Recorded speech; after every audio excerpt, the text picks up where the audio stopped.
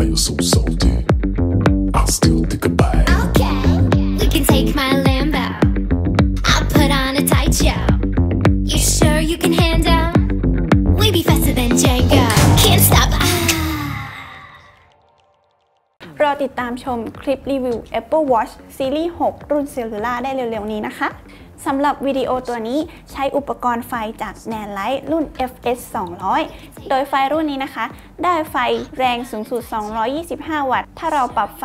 ที่ความสว่างสูงสุด 100%แรงกว่าไฟอ Aperture 120ดีกว่า 20-30%เลยค่ะ แถมเสียงพัดลมยังเบา และไฟรุ่นนี้ยังสามารถใช้รีโมทเดียวกันกับรุ่นก่อนๆได้ค่ะ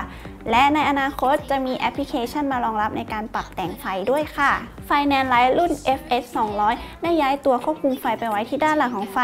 ดังนั้นคนที่ควบคุมไฟก็จะปรับความแรงของไฟและโหมดต่างๆ ได้ง่ายขึ้นค่ะ ไฟแนนไลท์รุ่น FS 200 มีวางจำหน่ายแล้วในราคา 12,000 บาทสำหรับใครที่สนใจสามารถเข้าไปดูข้อมูลเพิ่มเติมได้ที่ Facebook Fanpage COB Media และ Nanlite Thailand by COB นะคะ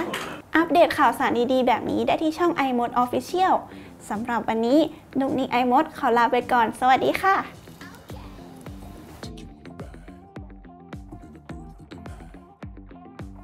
so, so.